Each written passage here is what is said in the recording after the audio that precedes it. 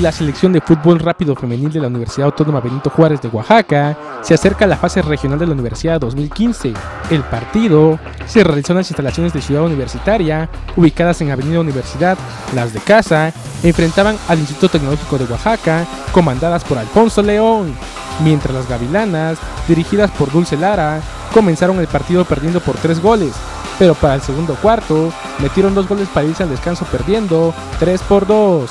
En el tercer cuarto, las Chapus nuevamente anotaron dos goles y dejaron el marcador 5-3.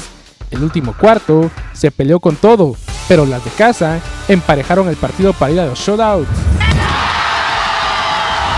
La entrenadora del equipo universitario Dulce Lara y la capitana del equipo Maday Hernández hablaron para MBM Deportes.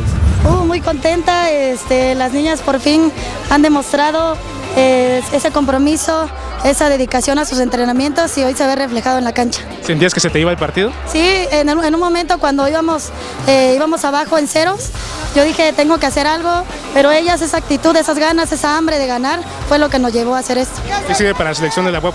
Sigue seguirnos preparando para hacer un buen papel a, a nivel regional.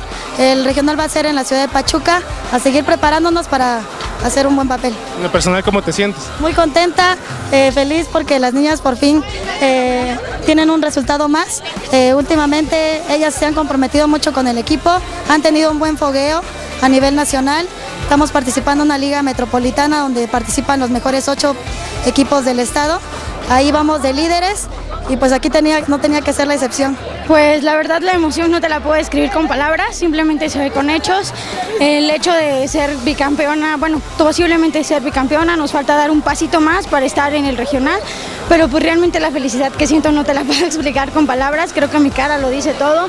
Mi, nuestra, nuestro festejo, nuestra emoción de todas, creo que eso es lo que demuestra la emoción que se siente en este momento. ¿Qué sigue para la selección de Vapo? Que sigue muchas cosas.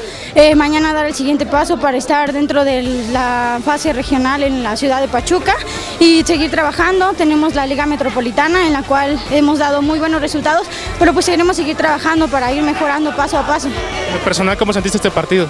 En lo personal, al principio pues sí fue un poco difícil, no niego que estuve un poco mal, pero pues al final creo que supe tener la cabeza fría y meterme al partido y como siempre tener que echarme el equipo al hombro si era necesario.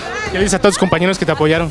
Ay, que muchísimas gracias, creo que la comunidad este, universitaria siempre ha sido así, siempre hemos gozado del apoyo de todos los compañeros de distintas facultades y eso se agradece demasiado porque por algo somos llamada la máxima casa de estudios en donde los jóvenes creo que somos la, la unidad. Para MPM Deportes, Jair Toledo.